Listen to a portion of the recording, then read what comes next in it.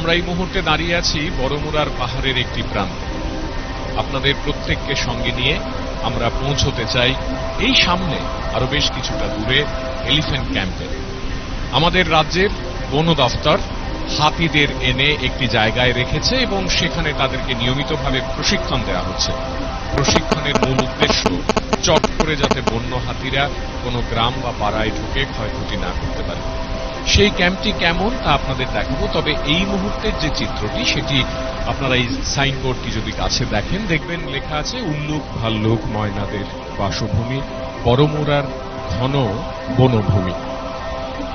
এই জঙ্গলটিতে বা এই এলাকাটিতে প্রধানত নানা ধরনের পশু পাখিদের দেখা পাওয়া যায়। কিন্তু অনতি দূরে যে হাতির ক্যাম্প, সেটি আসলে কেমন, তা নিয়েই আমাদের আজকের অভিযান।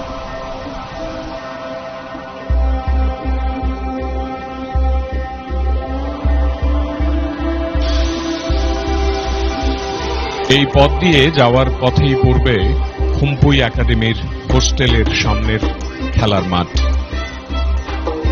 ছুটির দিনের অলস বেলায় ছেলেদের ক্রিকেট খেলার দৌড়ঝাঁপ।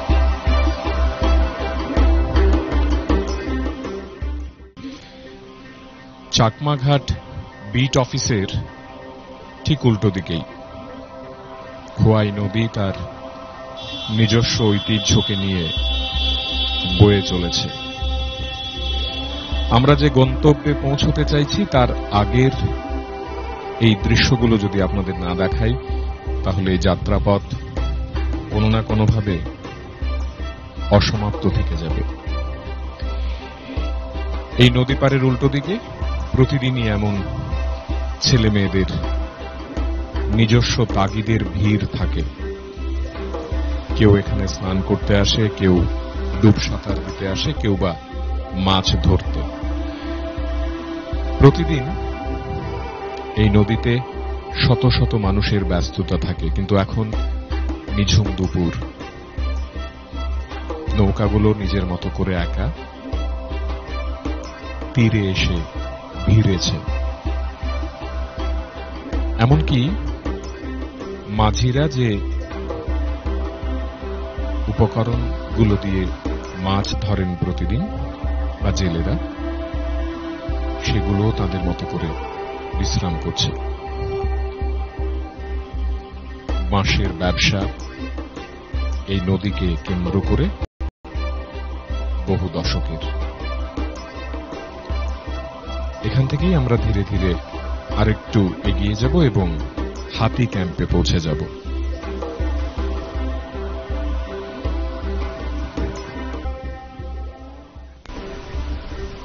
চাকমাঘাট ফরেস্ট বিট অফিস থেকে সামান্য এগোলেই রাস্তার ডান পাশে চোখে পড়বে এই সাইনবোর্ড।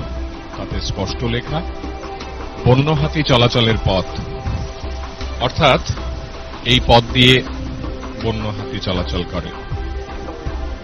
আর এই সাবধান বাণীটিকে সত্যি অর্থেই মানুষের মনের মধ্যে জাগিয়ে তোলার লক্ষ্যে বন দফতর ক্যাম্পটি নির্মাণ করেছে।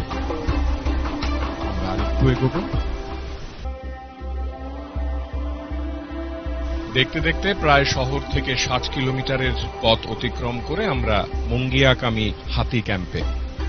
এই হাতি ক্যাম্পেই রাজ্যের বন দফতরের তরফে যে বিশেষ উদ্যোগটি নেওয়া হয়েছিল, আজ থেকে বেশ কিছু মাস আগে এবং যে প্রক্রিয়ায় এই ক্যাম্পের ভেতরে হাতিগুলোকে রাখা হয়, তাদের প্রশিক্ষণ দেওয়া হয়।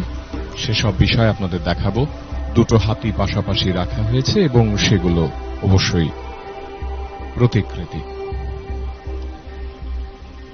সিমেন্ট দিয়ে হাতির রঙের মতো অনেকটা সামঞ্জস্য এনে এই ক্যাম্পে যারা প্রবেশ করেন, তাদেরকে বোঝানো হয় যে ভেতরে আসল গল্প লুকিয়ে এবং অত্যন্ত আকর্ষণীয় মুঙ্গিয়াকামী হাতি ক্যাম্পের মূল ফটকটি সরকারের বন দফতরের তরফে। এই ক্যাম্পটি রাজ্যের পর্যটনের জন্য তো বটেই এবং পশু পাখি যারা ভালোবাসেন তাদের জন্য অত্যন্ত আকর্ষণের একটি বিষয়। ভেতরে হাতিগুলো প্রশিক্ষণ পায়, মাহুতিরা তাদের সঙ্গে দিনরাত সময় কাটান এবং সার্বিকভাবে বৃহত্তর অংশের জনগণ যাতে উপকৃত হতে পারেন বন্য হাতিদের দামালপানা থেকে, সেই লক্ষ্যে গড়ে ওঠা এই ক্যাম্পে যাব এবারে। চলুন।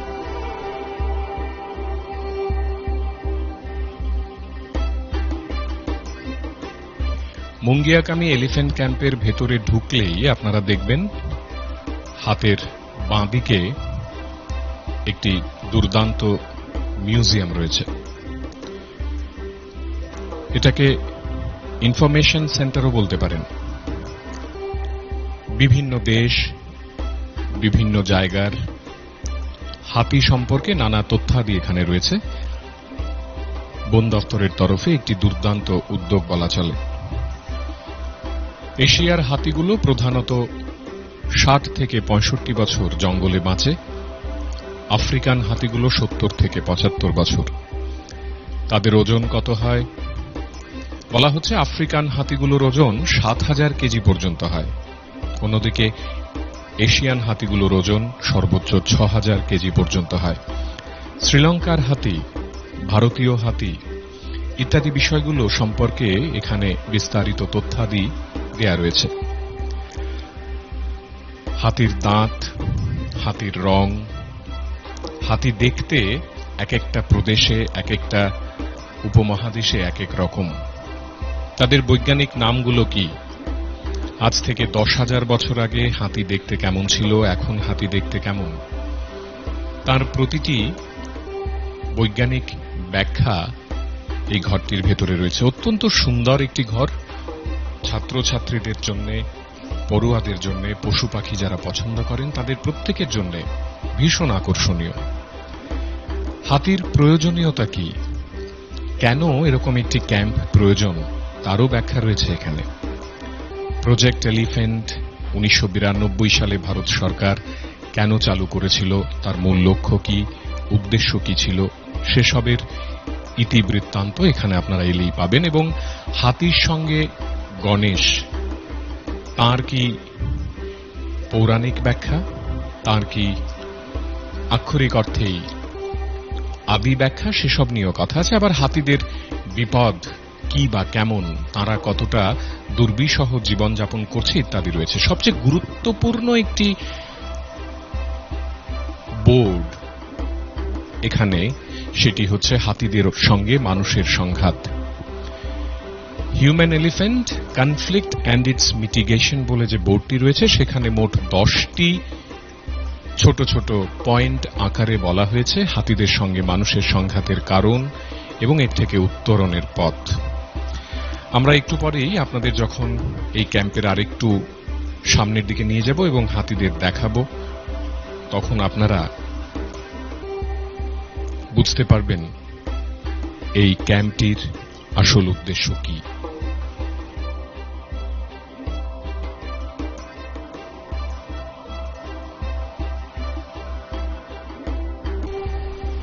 এই ক্যাম্পের ভেতরে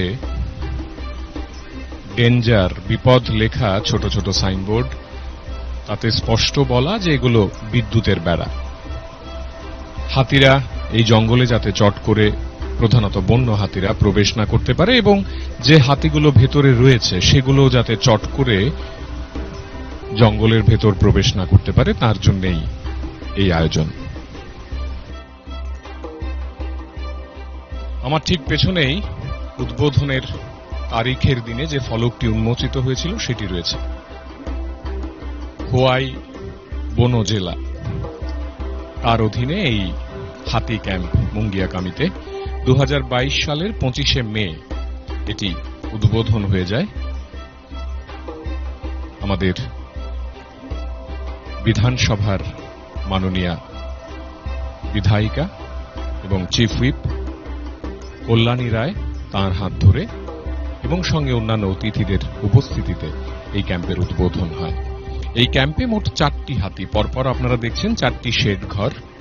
চারটি শেড ঘরে চারটি হাতি রাখা আছে এবং স্পষ্টভাবে বলা আছে যে এখানে সাধারণ মানুষ চট করে প্রবেশ করতে পারে না অনুমতিক্রমে আমরা বন দফতরের কাছ থেকে যা যা করণীয় তা করে এই অঞ্চলটিতে প্রবেশ করব আজ। এবং প্রথমেই যে হাতিটি এখানে রয়েছে, সেটি মতিলাল। মতিলালের বয়স তেইশ বছর।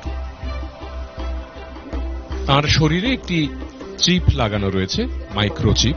সেই মাইক্রোচিপের নম্বর zero zero zero six four F three E ID এই নম্বর দিয়ে তাকে শনাক্ত করা হয়।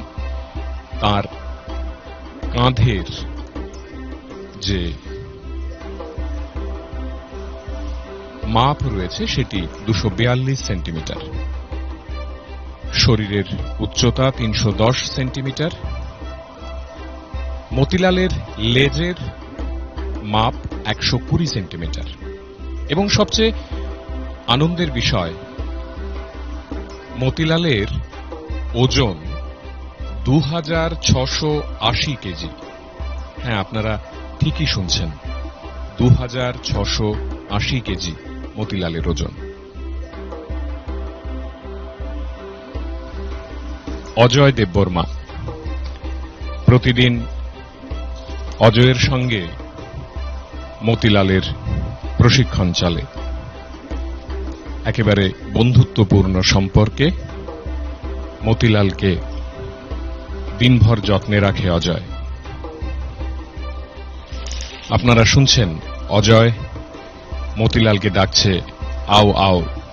অর্থাৎ এদিকে এসো।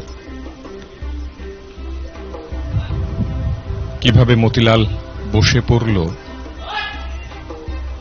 এবং কীভাবে তার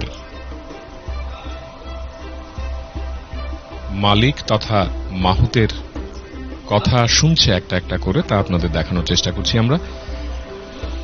এরকম নানা শব্দে, নানা ডাকে, নানা সাংকেতিক উচ্চারণে মতিলাল দৈনন্দিন জীবন পারাপার করে এখানে। মতিলালের স্নান করার সময়। গরম এবং তাতে এই জল মতিলালকে কি আনন্দ দেয়, সেটা সহজেই অনুমান করা যায়।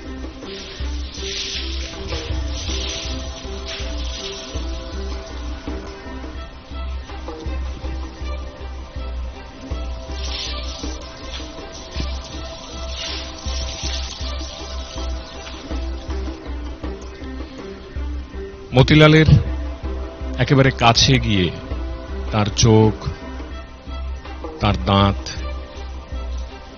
মুখ গহ্বরের নানা অঙ্গে হাত রেখে স্নান করানোর এই দৃশ্য বিরল।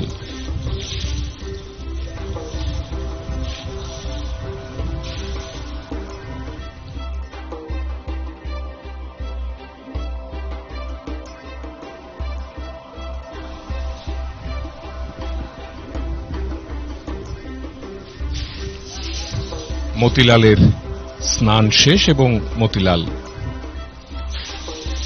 তার মালিকের কথা শুনে উঠে পড়ল।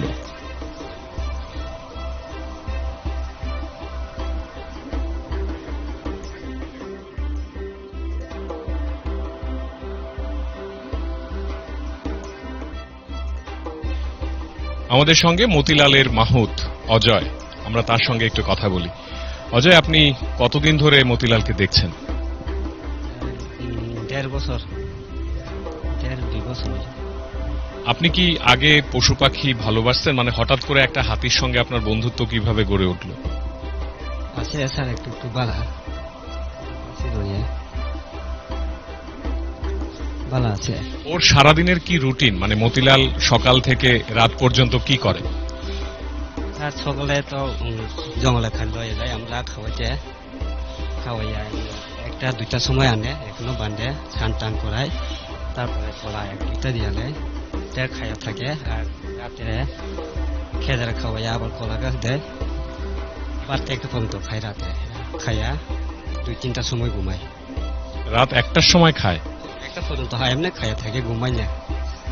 তারপরে দুই তিনটা সময় ঘুমাই দেখছি আমরা এই যে মতিলালকে আপনি কাছ থেকে যখন পেয়েছেন এবং মতিলালকে যখন আপনি যত্ন করা শুরু করলেন কখনো মানে শুরুতে ভয় লাগেনি আপনার? মানে কীভাবে ওকে নিজের কন্ট্রোলে আনলেন? একটু বলবেন গল্পটা? মানে আপনার কথাও কীভাবে শুনতে শুরু করল? আগে তো স্যার শুনে না। ওর উম, বছরে ট্রেনিং করছে বাইরে থেকে আইয়া ট্রেনিং করিয়া। এরপরে মাছ কথা কাটিয়া খাওয়াই খাওয়াই টাওয়াই এমনি থাকিয়া ভালো পাই রয়েছে। মতি তারপর থেকে কিছু করছে না এমনি ভালো লাগে ভালো করে থাকে। এখন পর্যন্ত গত দেড় বছরে এরকম কোনো ঘটনা আছে যে মতিলাল রেগে গেছে আপনার ওপর বা আপনার সঙ্গে কোনো বিরূপ আচরণ করেছে এরকম কোনো ঘটনা আছে? লাগে। বলছে না। এটা কিছু কমান করুন না মানে কি কি বললে কোন কোন শব্দগুলোতে ও কি করে? আমাদেরকে একটু বলবেন? মানে এই যে আপনি যদি ওকে পেছোতে বলেন মানে একটু তখন আপনি কি বলেন? শব্দগুলো একটু বলুন না আমাদের। ফিটা ফিটা করলে স্যার পিছনে যাও। আগো আগো করলে আগে ডাকাতে আগে লেটাই যায়। মানে ওকে যদি বসতে বলেন তখন ও কি বলতে হয় ওকে? একবার আমাদের বলে- বলে একটু দেখান না যে ওকে আপনি মানে বসতে বলছেন। বট কয়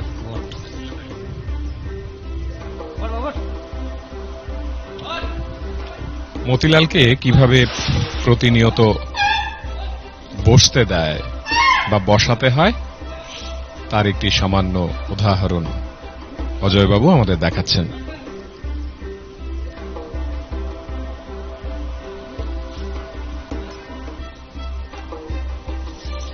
আবার উঠে গেল। এই যে আপনার হাতে এটা অনেকটা বর্ষার মতো দেখতে, এটা কি, এটা কেন রাখেন হাতে?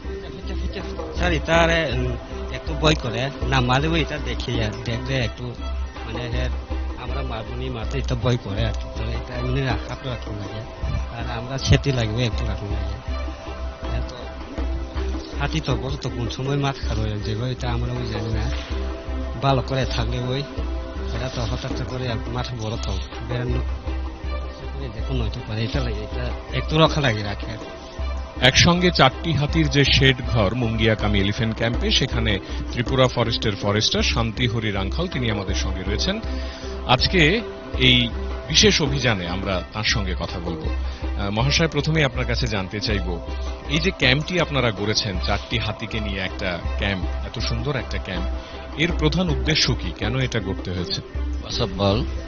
For his visit, Elephant এটা রিজন হৈছে ডিপাৰ্টমেণ্ট আনছে চিপাহী জলেতে চিফ কৰিছে চাৰ- চাৰটা হাতী ফৰ টুৰিজম লোক আহিব দেখব তারপরে অনেকজন তো হাতি দেখছে না আইজে ভিজিট করিয়া দেখব ওইটা লিগ আনছে আর কি আর ডিপার্টমেন্ট তো কিছু ইয়ে করছে না এনে রাখিয়া টুরিজম লিগা উপর উঠব চড়ব এটা লিগ আনছে। আরেকটা বিষয় যেটা মানে এটা যেহেতু তেলিয়ামুড়া অঞ্চল মানে আমরা জানি যে নিয়মিতভাবে বন্য হাতিরা তেলিয়ামুড়ায় চলে যায় মানে সেখানে গিয়ে বাড়িঘর ভাঙচুর করে, উপদ্রব করে, এমনকি মানুষও মারা গেছেন তাদের যন্ত্রণায়। সেই, এই হাতিগুলোকে এরকম ভাবে ট্রেন করা হবে যাতে করে বন্য হাতিরা চট করে গ্রামে ঢুকে না যেতে পারে। এরকম একটা বিষয় ভাবনাতে ছিল। আসিল। তবু রেডিও কালারিং করছে। এবারে মেয়েটে আমার ট্রাই করছে। সাকসেস হয়েছে আর কি। তো এটা এক্সপার্ট লাগে, বিভিন্ন থেকে লোক আইয়া এক্সপার্ট ওই ওয়াইল্ড লাইফ যারা জঙ্গলে ঘোরাঘুরি করে, বাড়ি ঘর ভাঙে লোকজন মারে। এরা কেমনে ট্যাকেল করব এক্সপার্টরা আইয়ে, তো কিন্তু এটা একটা লাগাইছে মানুষকে আবার ট্রাই হইব। কনফ্লিক্ট যেটা কমে আর কি মানুষ। পাবলিক লগে হাতি যেমন কমপ্লেক্সটা কমে যায় এটা কোনো ইয়ে চলছে এই যে হাতিগুলো এখানে রয়েছে মানে প্রত্যেক দিন তাদেরকে তো মানে খাবার দিতে হয় আপনাদের তরফ থেকে খাবার দিতে হয় এগুলোর যোগান বা ব্যবস্থা আপনারা কীভাবে করেন? আমরা দেখছি যে সুন্দর করে খাবার দাবার একেবারে তাদের জন্য প্রস্তুত। প্রতিদিন তো এই দায়িত্বটা পালন করতে হয় আপনাদের। কি করেন প্রধানত? বিকেলে পাঁচটা বা সাড়ে পাঁচটা কলা গাছ per head four hundred kgs হ্যাঁ তো চারটা হাতিতে ষোলোশো কেজি যায় পার ডে। এরা রেশন আছে। থেকে কীভাবে জোগাড় করেন এগুলো? টেন্ডার ওই মুনিয়াগামীর এইনা একজন আছে এ সাপ্লাই করার পার হেড চার কেজি চারশো কেজি। আর দর্শনার্থীরা মানে যারা দেখতে আসে যারা ভ্রমণ পিপাসু এই অঞ্চলগুলোতে আসেন এবং আপনাদের এই ক্যাম্প দেখতে আসে তাদের প্রতিক্রিয়া কি? তারা কি বলছেন এই ক্যাম্প দেখে প্রধানত? হাতি যখন আয়া দেখলে এরা সুন্দর সুন্দর লাগে ভালো লাগে আর কি। ওই তালিকা জাস্ট আয়া দেখিয়া তারপরে কয়েকটা কথা জিগাই কোনখান থেকে আনছে এসব জিগা আর কি। তো এরাও বালা কয় বালা পায় এই ক্যাম্পের দ্বিতীয় হাতির নাম গীতা রানী। এই ক্যাম্পে যে চারটি হাতি রয়েছে, তার মধ্যে সবচেয়ে বয়স্কা বলা চলে। চুয়ান্ন বছর বয়স তার। গীতারানীর microchip number zero zero zero six four F three E ID এই নম্বরে তাকে এখানে সবাই চেনেন। কাঁধের যে উচ্চতা, সেটি দুশো সেন্টিমিটার। শরীরের উচ্চতা তিনশো তেরো সেন্টিমিটার। লেজ গীতারানীর একশো আঠাশ সেন্টিমিটার। বয়স হয়েছে চুয়ান্ন বছর বয়স। যদি ওজন কত জানতে চান, তাহলে গীতারানীর ওজন দু হাজার তিনশো আট কেজি। হ্যাঁ দু হাজার তিনশো আট কেজি ওজনের গীতারানীর মাহুত। তার সঙ্গে দাঁড়িয়ে আমরা গীতারানীর মাহুতের সঙ্গেও কথা বলব। আর আপনি যদি ওর পিঠে চড়তে চান মানে আপনি ওর পিঠে উঠবেন তখন ওকে কি বলতে হয়? পাও দিতে হলে তল করতে হইব দুতে হলে দেলে করতে হইব একটু উঠে দেখাবেন সুর দিয়ে। দেখাও। গীতারানীর সুরকে কেন্দ্র করে তার মাহুত কীভাবে ওপরে উঠে যায় তা আপনাদের দেখাচ্ছি।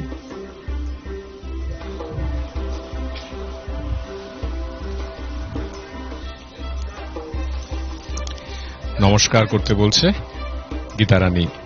নমস্কার করে দেখাচ্ছে। এবার নামার পালা। আমরা দেখব যে কীভাবে গীতারানীর মাহুত নিচে নামেন।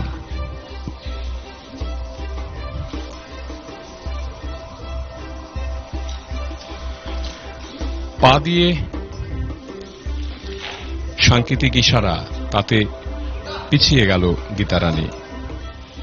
পা তুলে দিল, তাতে ভর করে নেমে পড়া।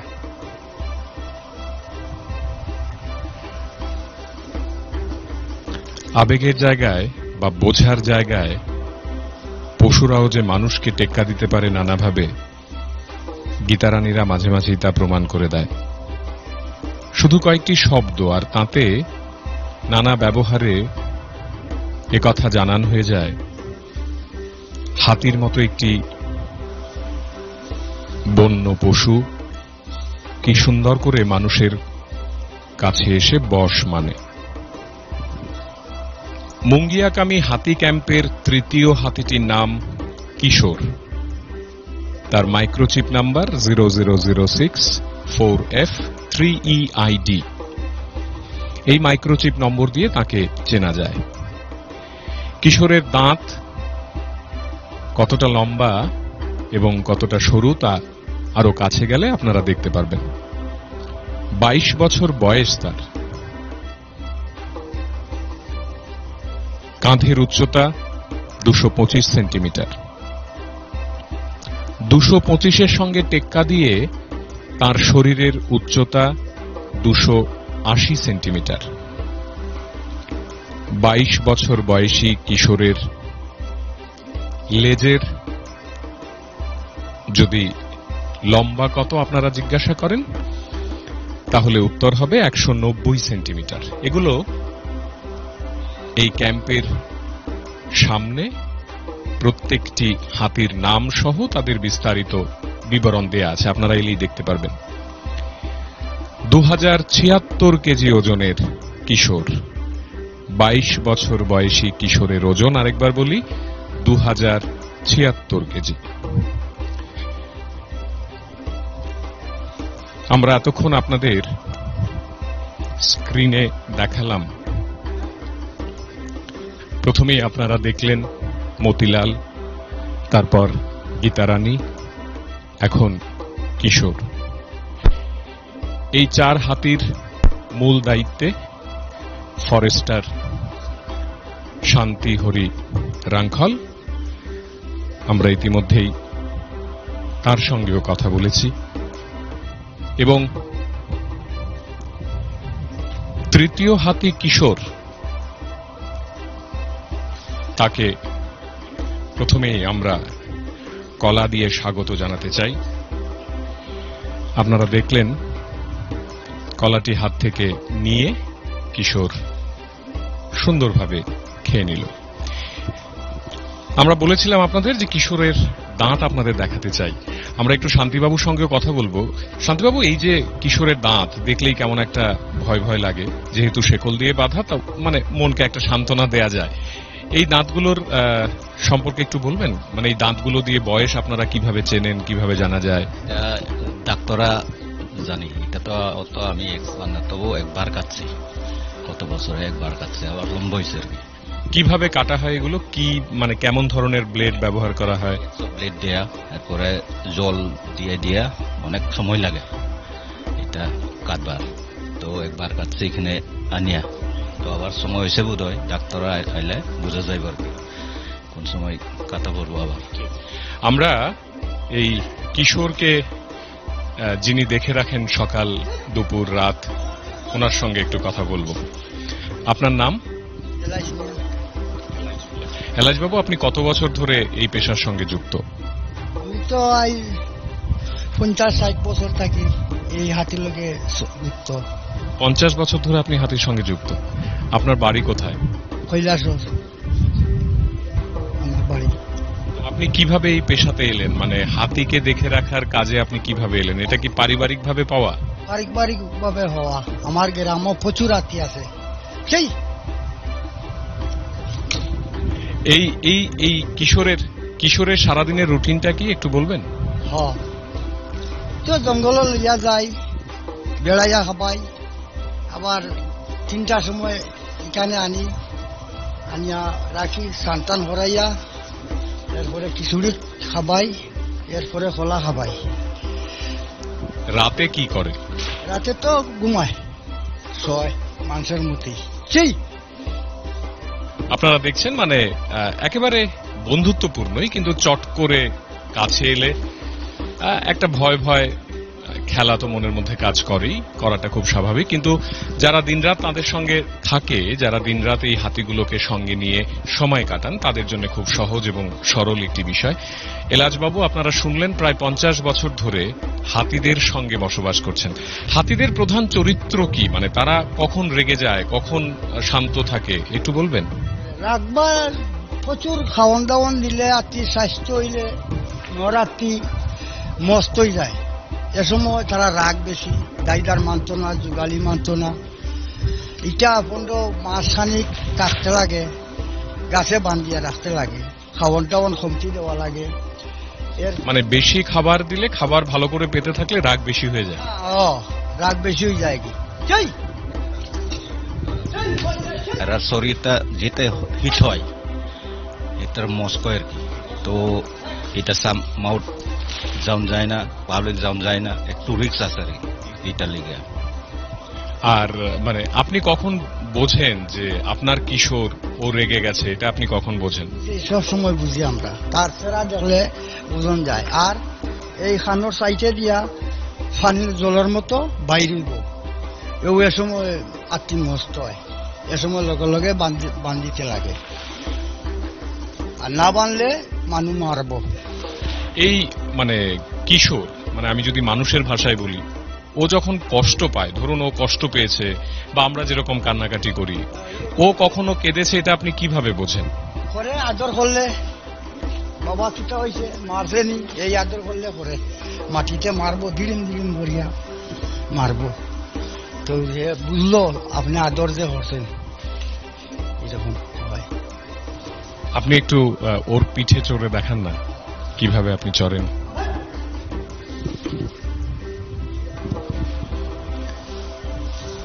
ইলিচ মিয়া, তিনি বেশ কয়েক দশক ধরে হাতিদের সঙ্গে নিজের আত্মীয়তা গড়েছেন।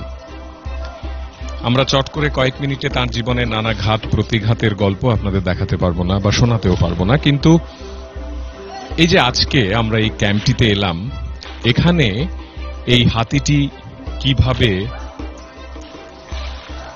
এলাজবাবুর সঙ্গে বন্ধুত্বপূর্ণ সম্পর্কে আছেন, তার একটি দৃষ্টান্ত আপনাদের দেখানোর চেষ্টা করছি।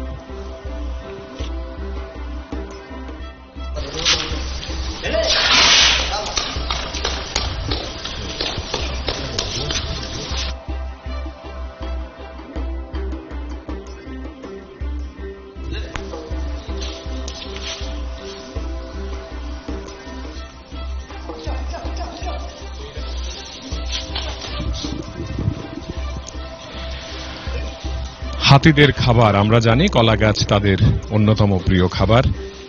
কীভাবে কলা গাছ মুহূর্তে শেষ হয়ে যায় হাতিদের সামনে, তার একটি ঝলক আপনাদের দেখাই।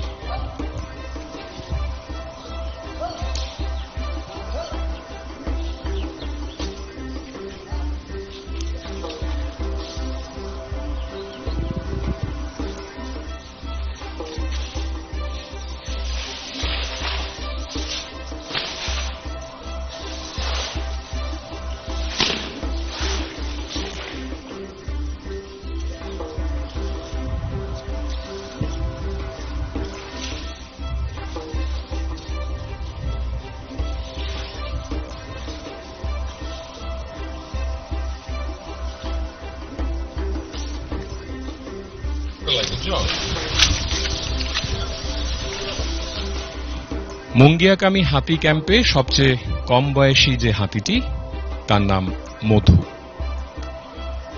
মধুর বয়স কত? মাত্র উনিশ বছর। Madhu, microchip number zero zero zero six four F three E ID নম্বর নিয়ে এই ক্যাম্পে রয়েছে এবং তার শোল্ডার হাইট দুশো সেন্টিমিটার। তার শরীরের উচ্চতা দুশো সেন্টিমিটার। লেজ কতটা লম্বা, যদি জিজ্ঞাসা করেন অন্য হাতিগুলোর মতো, তাহলে মধুর লেজের উচ্চতা একশো ছত্রিশ কিলো সেন্টিমিটার। মধুর ওজন কত? কৌতূহল জন্মায় এই প্রশ্নটি শুনলেই। এখানে ১৯ বছর বয়সী মধুর ওজন দু হাজার দুশো আটত্রিশ কেজি। দু হাজার দুশো আটত্রিশ কেজির ওজনে মধু প্রতিদিন সকালবেলায় তার মাহতের সঙ্গে বেরিয়ে পড়ে। দুপুরবেলায় ফিরে আসে এবং রাত্রিবেলায় বাকি আর তিনটি হাতির মতোই যে রুটিন আমরা ইতিমধ্যেই আপনাদের শোনালাম, সেই একই রুটিনে এখানে বসবাস করে। দু হাজার বাইশ সালের পঞ্চম মাসে এই ক্যাম্পটি উদ্বোধন হয় এবং তারপর থেকে বহু সংখ্যক সাধারণ নাগরিক রাজ্যের বিভিন্ন প্রান্ত থেকে, এমনকি বহির রাজ্যের অনেকেই এখানে এসে হাতিগুলোকে কাছ থেকে দেখে গেছেন। পর্যটনের নিরিখে এবং বন দফতরের নানা প্রয়াসের মধ্যে এই প্রয়াসটি সত্যি অর্থেই আনন্দদায়ক। হাতি সংরক্ষণ এবং হাতিকে নিয়ে গবেষণা, হাতিকে নিয়ে কাছ থেকে পর্যবেক্ষণ ইত্যাদি বিষয়গুলোকে কেন্দ্র করে দারুণ একটি বাতাবরণ এখানে তৈরি হয়েছে এবং দেখছেন আপনারা শেড ঘরগুলো। বৃষ্টি থেকে, রোদ থেকে বাঁচার জন্য সুন্দরভাবে নির্মাণ করা হয়েছে শেড ঘরগুলো। চারটি ঘরে, চারটি হাতি। তার ঠিক পাশেই ছোট ছোট ঘর। সেখানে দফতরের আধিকারিক কর্মীরা তারা থাকেন। নিয়মিতভাবে চোখের সামনেই বড় হচ্ছে এক একটা হাতি। উনিশ বছর বয়সী মধুকে নিয়েও আমরা কথা বলব। মুঙ্গিয়াকামি হাতি ক্যাম্পে যে চারটি হাতি রয়েছে, তার মধ্যে সবচেয়ে রাগী হাতি মধু। এখানে যারা আধিকারিক এবং কর্মীরা রয়েছেন, তাদের প্রত্যেকের একই কথা। সেই মধুকে যিনি নিয়ন্ত্রণ করেন প্রত্যেকদিন, তিনি আমার সঙ্গে। আপনার নাম বিকাশ বিকাশ দেববর্মা। বিকাশ বাবু একটু বলবেন যে মধুকে আপনি কীভাবে কন্ট্রোলে আনলেন? কন্ট্রোল তো আমরা ইয়ে ট্রেনিং করছে, ওই আসাম থেকে। তারা ইয়ে ট্রেনিং করছে। এই সময় আমি আসলো মধুলগে প্রথম ট্রেনিং কে এই সময় আমরা শিখাইছে এমনি যেমন মধুর কন্ট্রোল করণে এই সময় শিখাই দিয়ে গেছে এই সময় ফান্দি তারা। ওর কি রুটিন মানে সকাল থেকে ও কি করে প্রধানত? তাহলে আমরা সাতটার সময় জঙ্গলে লইয়া যাই খাওয়ানে লাগিয়া সারিয়া দেই এরপরে একটা দুইটা এই টাইমে লইয়া আইয়া এখানে স্নান করাই। স্নান করাইয়া সারা বিকালে আবার খেজুরি কলা গাছ এমন খাওয়াই। আমার পাশেই ফরেস্টার শান্তিবাবু রয়েছেন তিনিও বলছিলেন এবং পেছনে কর্মীরা যারা রয়েছেন তারা প্রত্যেকে বলছিলেন যে মধুর রাগ সবচেয়ে বেশি। তো আপনার প্রথম দিকে ভয় লাগেনি মধুর সঙ্গে থাকতে? প্রথমতেও ভয় লাগছে অন থাকতে থাকতে একটা অভ্যাস হয়ে গেছে এর স্বভাব আমি যা- এখন জানে ঠিক মতেন এর রাগ হইলে কীরকম থাকে এই সময় আমি এখন একটু বলুন না রাগ হলে কি করে? রাগ গেলে সব রাগ হলে এমন একদম চুপচাপ থাকব যেমন যে সময় তার মাথা খারাপ হইব এই সময়। তো এই সময় আমি এরা সাবধানে রাখন- লাগে এমনি রাখি আর। তো তারপর ও যখন শান্ত হয়ে যায় তখন আপনি কীভাবে বোঝেন যে ও শান্ত হয়ে গেছে? এ শান্তি হইলে নর্মাল তো আমরা বুঝি যেমন ও আমরা কথা তার বাসা কয় যে মানে এই সময় এ নর্মাল আমরা বুঝি। ও কি খেতে পছন্দ করে মধু? খাওয়ান তো সবটি খাওয়ান তো বালা হেউই তাই এই কলা গাছ যেমন জঙ্গলের গাছ টাছ সেটা খাওয়ান ভালো লাগে খাওয়াই। শান্তিবাবু এই যে আপনারা এখানে হাতিগুলোকে দেখে রাখছেন আগামী দিনে কি পরিকল্পনা রয়েছে? আরও কি হাতির সংখ্যা বাড়বে বা আপনাদের দফতরে এরকম কোনো আলোচনা চলছে? ডিসাইড তো ডিপার্টমেন্ট করব। আমি তো জাস্ট এখানে ইনচার্জ দেখভাল করছে এর লগে আমি থাকি। এটা তো ডিপার্টমেন্ট ডিসাইড করব। বাড়বনি কমবনি। আপনাদের কোনো পরিকল্পনা? মানে ভেতরে যা রয়েছে তার মধ্যে কোনো নতুন পরিকল্পনা রয়েছে আগামী দিনে? আমি দিলে তো ডেভেলপের কাজ এদিকে হইব ফিলিডি ফিল একটু আছে, আর এটা বাদেও অনেকটা ডেভেলপ হইব। যেমন এনআইসি ঘর উঠছে ক্যাফেটেরিয়া ঘর উঠছে, আর বাইরে দোকান সেট উঠছে ফেন্সিং সব ডেভেলপমেন্ট হইব। এই যে ফেন্সিংগুলো করা মানে বিদ্যুতের তার দিকে দিকে দিকে দিকে লাগানো আছে, আমরা দেখেছি এই ক্যাম্পের আশেপাশে, এটা প্রধানত কেন? আমরা আমাদের মতো করে বলার চেষ্টা করেছি শুরুতে, কিন্তু আপনি যদি একটু বলেন। রাত্রে বাই চান্স যদি খবর টবর পাই, এটারে লাইন কারেন্টার লাইন অন করা আর কি, যাতে আউটসাইড থেকে ওয়াইল্ড লাইফ ডাইরেক্ট যেমন এন্ট্রি না করতে পারে, এরকম আর কি সিস্টেমটা জিআই টার লাগাইছে আপনারা আজকের এই, আমাদের ছোট্ট যে উদ্যোগ, তাতে দেখার চেষ্টা করলেন মানে আমরা দেখানোর চেষ্টা করলাম আপনাদের যে চারটি হাতি, তাদের আলাদা আলাদা চরিত্র। এবং তাদেরকে দিনরাত যারা দেখে রাখেন, একেবারে শিশুর মতো করে তাদের সঙ্গে আমরা যদি বলি, মা বাবারা যেমন লেগে থাকতে হয়, এখানে কিন্তু মাহুতরা সেই দায়িত্বটি পালন করছেন। জীবনের ঝুঁকি নিয়ে, পরিবারের সমস্ত অন্য দায় দায়িত্ব পালন করার পাশাপাশি এই গুরু দায়িত্বটি পালন করাও দারুণ একটি বিষয়। বন দফতরের এই আন্তরিক উদ্যোগটি রাজ্যবাসীর সকলের মধ্যে যদি ছড়িয়ে পড়ে এবং আমরা যদি এই বার্তাটুকু দিতে পারি যে হাতিদেরকে বাঁচিয়ে রাখা প্রয়োজন, তাদেরকে আহত করা চলবে না, দেখলেই মেরে ফেলা চলবে না। বনদস্যুদের কাছ থেকে হাতিদেরকে রক্ষা করার দায়িত্ব আমাদের। আমাদের রাজ্যে প্রায় শতাধিক হাতি রয়েছে। মোট সংখ্যা কত তার কোনো সরকারি স্পষ্ট হিসেব না থাকলেও আমরা জানি বিভিন্ন সময় খবরাখবর ইত্যাদিতে যে প্রায় শতাধিক হাতি আমাদের এখানে রয়েছে। আপনারা জানেন, ইতিমধ্যেই আমাদের রাজ্যের হাতি সংক্রান্ত একটি খবর গোটা দেশ জুড়ে আলোচিত ছিল। গুজরাটের জামনগরে প্রায় চৌষট্টি চৌষট্টি হাতিকে নিয়ে যাওয়া হয় এবং সেখানে সেগুলোকে রাখা হয়েছে যত্ন আত্মি ইত্যাদি করা হচ্ছে। ঠিক একইভাবে আপনারা যে যেখানে আছেন, যদি আপনাদের পাড়ায়, আপনাদের এলাকায়, আপনাদের অঞ্চলে কোথাও হাতি থাকে বা আপনারা দেখেন বন দপ্তরের সঙ্গে যোগাযোগ রাখবেন। তাদের আহত করবেন না, মারবেন না, তাদেরকে দেখে রাখবেন। এই জঙ্গল আমাদের রাজ্যের প্রতিটি গাছ, প্রতিটি পশু, প্রতিটি পাখিকে বাঁচিয়ে রাখার দায়িত্ব আমাদের সকলের। হ্যাঁ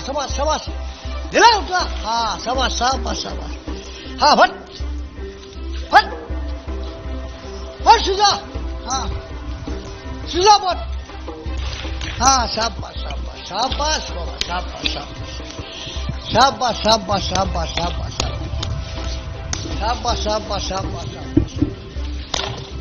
शाबाश। शाबाश शाबाश हाँ मल वो मल। हाँ हाँ मल।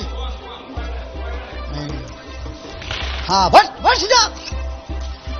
भट हाँ भट हाँ हाँ भट्टो Sabar, fat, fat. Sabar. Hmm. Bangun. Bangun, bangun. Hmm. Hmm. Eh. Bangun. Bangun. Hmm. Hmm. Hmm. Hmm.